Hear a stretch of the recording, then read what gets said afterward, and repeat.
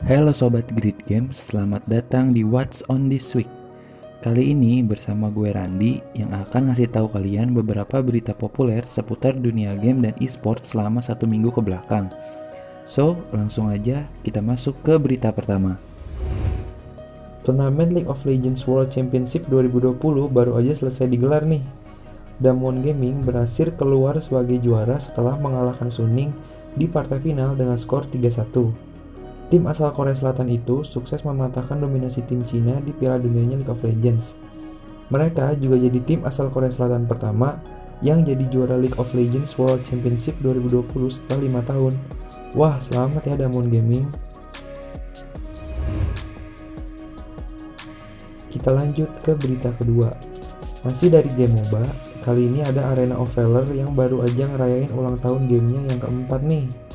Dalam rangka ngerayain hari jadinya, AOV ngerilis skin khusus bertema Ultraman. Kamu bisa ngedapetin skin spesial tersebut secara gratis loh. Caranya gampang banget, kamu tinggal login aja ke dalam game, terus langsung klaim deh skinnya. Berita selanjutnya datang dari game RPG paling populer saat ini yaitu Genshin Impact.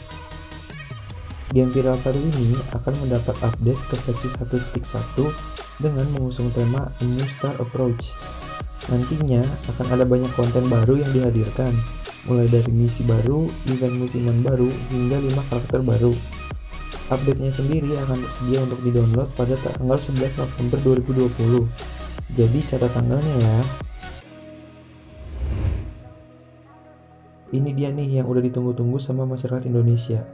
PlayStation 5. Yap, konsol next gen buatan Sony itu udah terdaftar di situs sertifikasi Postel Ditjen SDPPI Kemcon Info pada 3 November 2020. Hal itu menandakan kalau PS5 akan hadir di Indonesia gak lama setelah diluncurkan secara global pada 12 November 2020. Meski belum ada info resminya, beberapa kabar menyebut kalau PS5 bakal mendarat di tanah air pada 19 November 2020. So, kita tunggu saja ya. Terakhir, ada gelaran turnamen Mobile Legends Professional League Invitational yang akan dilaksanakan sebentar lagi. Tepatnya, mulai 27 November sampai 6 Desember 2020. Sama seperti edisi sebelumnya, MPL Invitational masih akan dilangsungkan dengan format online karena pandemi COVID-19 yang masih menyebar. MPL Invitational bakal menghadirkan 20 tim undangan dari 5 negara Asia Tenggara yang terdiri dari Malaysia, Myanmar, Filipina, Singapura, dan tentunya Indonesia.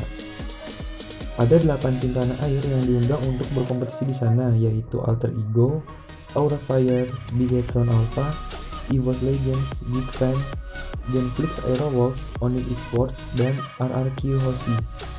Total hadiah yang diperebutkan senilai 100.000 US dollar atau kalau dikonversikan ke rupiah itu mencapai 1,5 miliar.